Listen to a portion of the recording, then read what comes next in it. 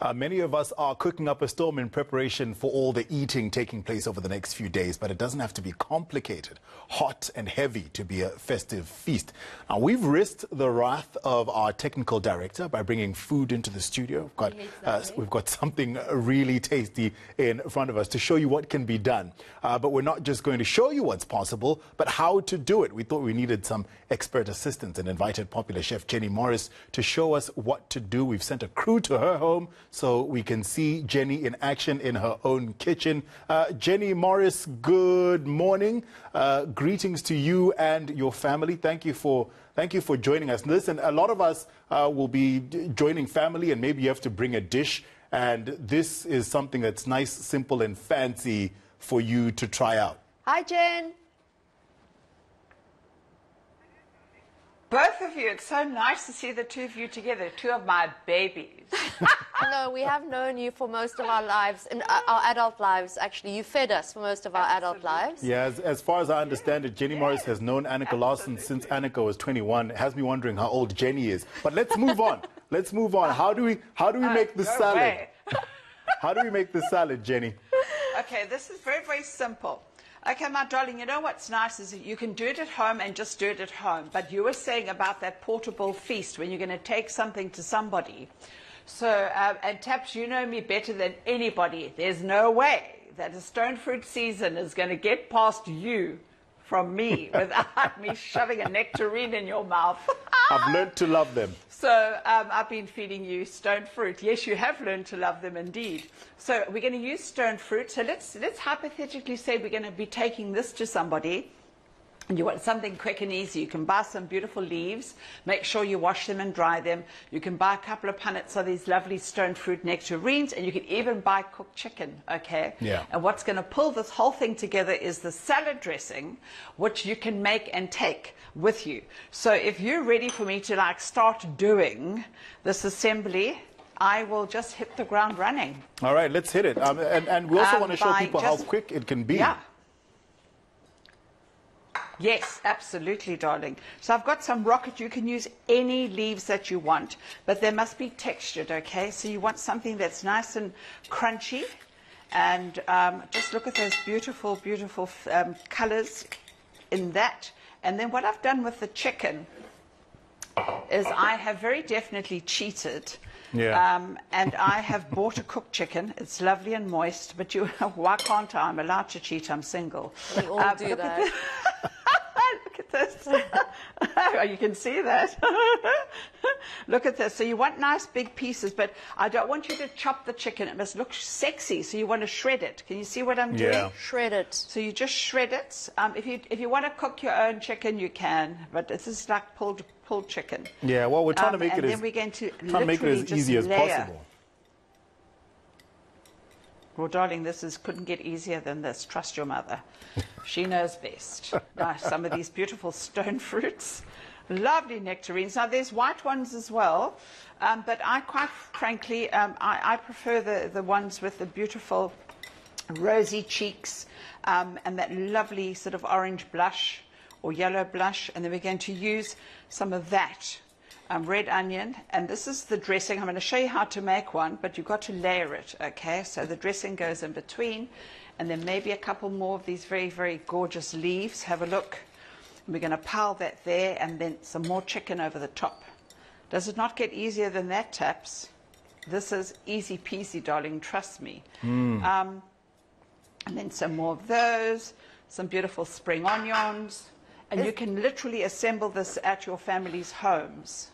Jen, is this quite cost effective? Because, I'm mean, most to of us are on austerity measures this year. It's been a tough year. So, I mean, I how much are we looking at for a salad like this, would you say?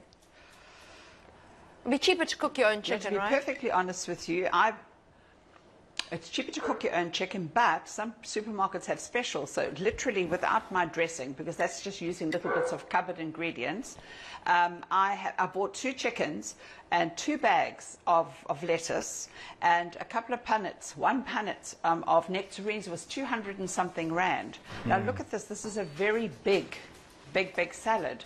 So th- this is going to feed at least six people very, very happily. You know, they're going to be very happy. Um, you don't have to buy two chickens. You can do it with one chicken. You can do it with just one packet of leaves. But I'm greedy. You know, I love butter lettuce. I love textures. Now we So we you can use iceberg lettuce. It doesn't have to be anything special. we love how generous you are with that chicken. You know, I hate to perpetuate the stereotype, but I love chicken. Uh, talk to me. Uh, talk to me about the. You wanted to eat that Picasso pig. yeah, I would eat Picasso, not allow, allow him to paint. Talk to me. Uh, talk to me about the, the the dressing because you said that's the key. So how do we make the dressing? Okay, so the dressing here, you, you, you don't have to have the wasabi if wasabi is not your sort of flavor of choice. But we have mayonnaise, we have a little bit of sesame oil, we've got some honey, we've got fresh ginger, and you can also put garlic in it. I like garlic, as you know. For me, garlic is just like it's antisocial, antibacterial. Who cares? You know, garlic is very, very healthy and very, very good. Um, so, you, um, and you can even put chili if you like instead of um, wasabi or you can you can actually buy you know you can actually buy wasabi paste um, in a t- in, in a tube, or you can make your own. Now I love wasabi because wasabi, unlike chili, you know chili burns you three times, don't you? A one, a two, and somewhere else. But this only burns once and it goes up. Okay, so you can decide how hot do you like it. So I'm going to just add a little bit. Sorry, I've got no filter. Um, you know that. Uh, We So here we go. We knew we were risking up that by bringing you here. Like that. Oh, come on, I was good. It, it, it, it happens, it burns. and then I'm going to just cheat, and I'm going to go literally um, into my little machine, like so. I'm going to give it some olive oil. Um, you can use a peanut oil or you could use sunflower oil, but I really love olive oil. So I'm going to just give it a good old squish What is of that olive machine, oil. I'm Jen? going to take What the ginger. that? Oh, it's just, oh, it's like a, a, a, a liquidizer kind of a Oh, thing. It's a little processor. Um, the ginger gives you the deliciousness. I mean, this is what gives it the depth, okay? Honey, runny honey, look at that. If you don't have honey in your house, guess what? You can use brown sugar. Brown sugar is so good. nice. I also like sometimes to just put a little bit of soya sauce if you want. Now, this sesame oil is so good. It's so good for your skin, Annika. This is a woman's oil. That is the best oil on earth. Don't tell me that I look like And the best renty part I like Maybe about you it need is it. it's yeah. no, you, of course you don't. No, Oh, Jen hey, is always Tat, saying that I'm old. He it. calls me the OG. I'm the old girl. It's like it's an ongoing thing. Okay, let me tell you, we're not old girls. We're cougars, baby. We're cougars. Oh, he's so. See, we can still get a Parmesan Daddy or a Blesser. So you stop your nonsense. What have I But I gotten will say myself one into? thing. I will say one thing. Yeah, you've just set yourself up, my friend. You're lucky you don't live down the road anymore because I'd be beating you. Now, the nice thing about this is you can make it the day before and it'll just, it'll just like draw and just be fantastic. And then after it's done, I'll just stir in as much wasabi as I want, okay?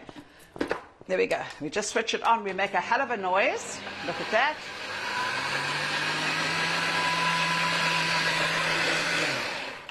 And it's done. And it's dusted. I'm going to just stir in the wasabi.